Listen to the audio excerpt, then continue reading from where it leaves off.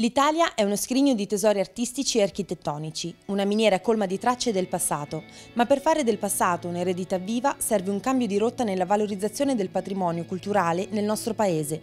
È la convinzione di Giuliano Volpe, presidente del Consiglio Superiore dei Beni Culturali e Paesaggistici del MIPACT, ospite in Yulm martedì 9 febbraio per la presentazione del suo libro Patrimonio al futuro, un manifesto per i beni culturali e il paesaggio.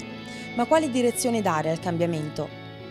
Costruire un una via italiana nuova alla tutela e alla valorizzazione del patrimonio culturale.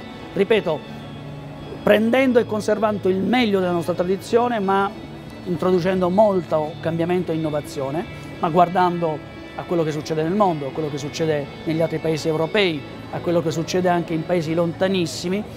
Abbiamo molto da imparare, ma sono certo che proprio grazie alle nostre competenze, alla formazione ottima nelle nostre università, noi abbiamo dire, una marcia in più che può fare del Paese Italia ancora un riferimento fondamentale internazionale nel campo dei beni culturali. La finestra del rinnovamento deve aprirsi sulle discipline della comunicazione e sull'utilizzo delle nuove tecnologie, leve fondamentali per traghettare i beni culturali nel futuro.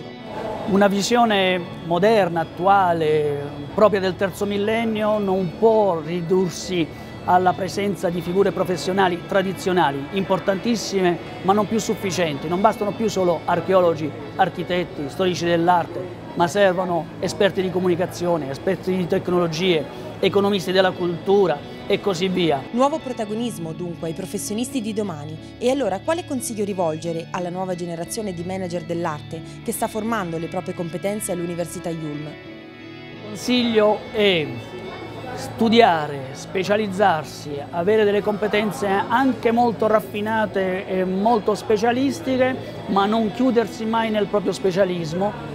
Abbiate la competenza, la voglia, la curiosità di guardarvi intorno, di studiare, capire, leggere e, eh, e dialogare con altri saperi perché soltanto una competenza che è un mix tra specialismo e grande apertura può darvi le opportunità migliori e soprattutto può dare al patrimonio culturale quelle energie di cui ha veramente bisogno.